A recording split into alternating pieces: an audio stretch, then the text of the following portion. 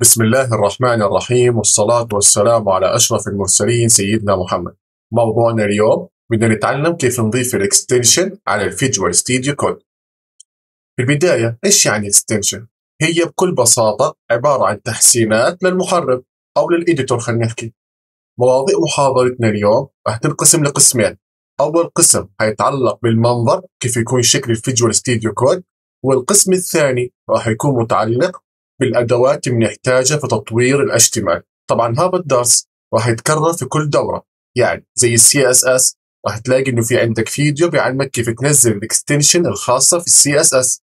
خلينا هسه نبلش في أول extension عندنا وهي ال Visual Studio Code icon. كيف بدي أنزل ال extension؟ في عندنا هون المربعات تكبس عليها. وبتعمل هون search على Visual Studio Code icon. حتلاقيها أول واحدة اكبس عليها. طبعا هسه أنا هون عامل لها install عندي على ال Visual Studio Code الخاص فيا. فبدي أمسحها مع بعض. هيدا امسحها من هون uninstall طب شو حكى لي بدي أعمل reload عشان يرجع يشغل لي ال Visual Studio Code. فبحكي له سوي reload هي رجع اشتغل من أول وجديد. بدنا ندور مرة ثانية على Visual Studio Code. جاب لي اياها أول واحدة وهي ال icon كم حدا منزلها؟ 11 مليون. فبتعملي لها install شو الفايدة منها أول شيء الفايدة منها لما ننشئ إحنا folder ات كل folder بيطلع له icon عشان نفهم ال Visual Studio Code. ياخذ هاي ال extension فقط بنكبس هون Visual Studio Code icon طب شو اللي صار هسه؟ خليني أعطيك مثال بسيط. وهون الفكرة بكل بساطة. كل ما تنشئ ملف أو folder له معنى راح يظهر لك ال icon الخاصة في اللغة. يعني مثلا أنا بدي انشئ ملف HTML فراح يظهر لي على الملف icon الخاصة في HTML خليني هسه أوريك مثال على فكرة ال icon بدي أروح من هون على ال file. طيب هاي محاضرات ال HTML حنشرحها إن شاء الله في المحاضرات القادمة. لكن اطلع هون أنا في عندي folder images حط لي هون على ال folder صورة. فال folder له معنى صار. كمان هون أنا مستخدم ملف ال index dot HTML يعني هذا ملف عبارة عن HTML.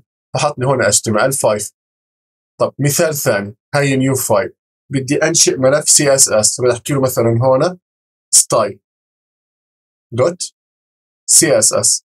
طلع كيف؟ حط لي هون CSS 3 فالموضوع بيكون جدا سهل وبسيط.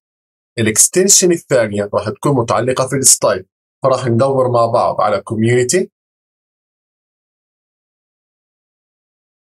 Material Theme هي أول واحدة طبعا بتنزلها زي ما نزلت قبل شوي ال Visual Studio Code. بكل بساطة هتلاقي عندك install فبتنزلها. حتيجي هسه على set color theme set color theme كل ما تنزل على واحدة راح يتغير شكل الثيم موجود عندك في ال Visual Studio Code. وأنت بتختار الشكل اللي بيناسبك. ونيجي هسه لل extension الثالثة هي error lines error lines جدا مهمة. نعمل لها install طب شو الفكرة منها؟ الفكرة منها بكل بساطة لما تكتب أي كود خاطئ مباشرة بيطلع على نفس السطر. هتقول لي كيف؟ يعني لو طلعنا هون راح تلاقي بيحكي له إنك أنت ناسي تضيف قوس. أنت فاتح القوس وناسي تسكره فأعطاك التحذير على نفس السطر. يعني بيساعدك بشكل مباشر. فمهمة جدا هاي ال error line وال extension الرابع اللي عندي إياها اسمها color highlight هيها أول واحدة بنعمل لها install شو الفكرة منها؟ لما تكتب أنت أي كلام بيطلع لك مباشرة اللون اللي أنت كاتبه.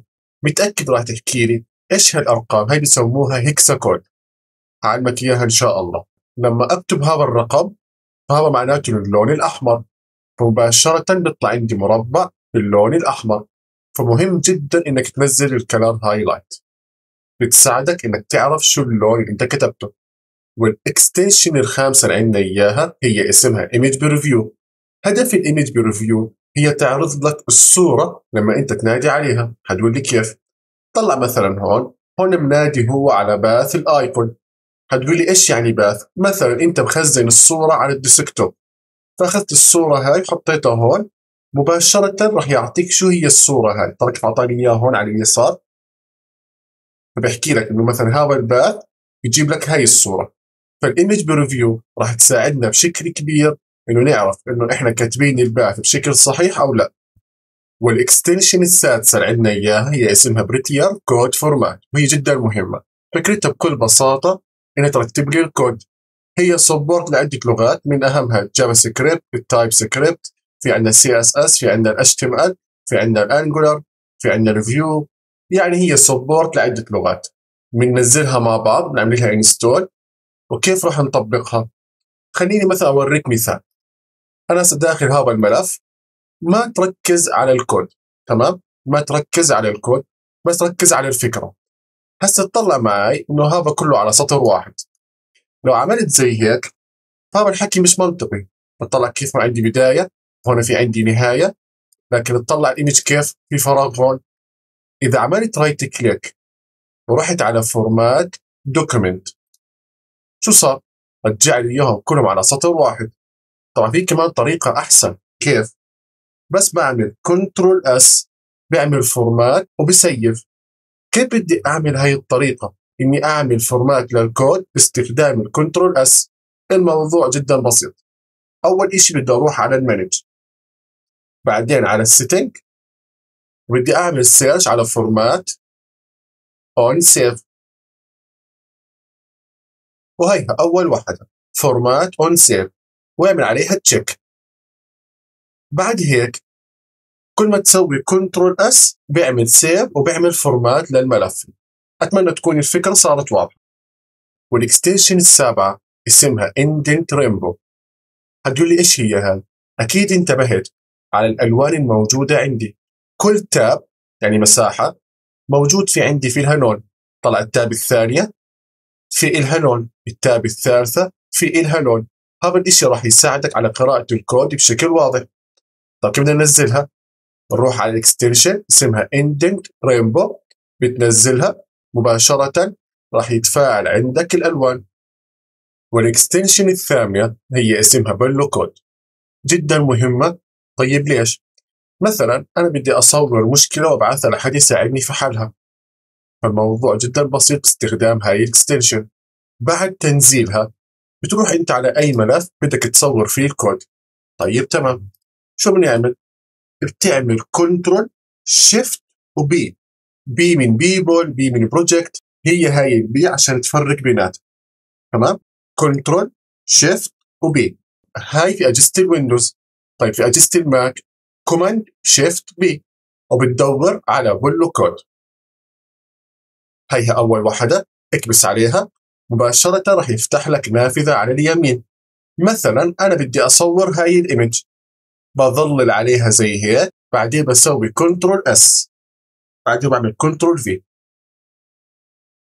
مرة ثانية ظللت على الإشي اللي بدي إياه سويت copy control C. بعدين جيت هون عملت control V. بقدر أضبط الشكل بحكي لك آه شايف من هون تقدر تكبر الصورة. تقدر تصغرها على حسب ما بدك. هسه هيك الصورة ممتازة. بعمل من هنا تصوير. مباشرة بيحكي لي وين حاب ت save الصورة هاي؟ على ال desktop على ال download شو اسمها؟ الموضوع برجع لك لكن أتوقع الفكرة صارت واضحة. ال extension التاسع اللي عندي إياها اسمها auto closing tag. بعد ما تنزلها مثلا أنا بدي أضيف paragraph. حكيت لك عنها في المحاضرة السابقة. فمثلا بعمل هنا إشارة الأصغر هاي P معناتها paragraph وبسكر ال tag. مباشرة شو سوالي عمل لي close tag وهي هاي وظيفة ال extension إنها بتعمل لأي tag close بشكل مباشر. وال extension العاشر اللي عندنا إياها اسمها اوتو رينيم تاج طب شو فكرتها؟ بعد تنزيلها بنروح مثلا على paragraph بدي أخليها مثلا أنا header 1 header 1 معناتها عنوان. لكن انتبهت شو اللي صار؟ اني أنا بعدل على ال open tag وال closing tag نفس الوقت. وهي هاي وظيفة ال extension اللي اسمها auto rename tag أتمنى تكون الفكرة وضحت. وال extension رقم 11 هي path IntelliSense فكرتها جدا مهمة. وهي بتساعدك انها توريك ال path ات الموجودة عندك داخل المشروع. فكرتها راح توضح معك بشكل كبير لما نبلش نطبق خلال الدورة لكن لازم تكون عندك. وال extension رقم 12 هي اسمها live server عليها تقريبا 22 مليون تنزيل.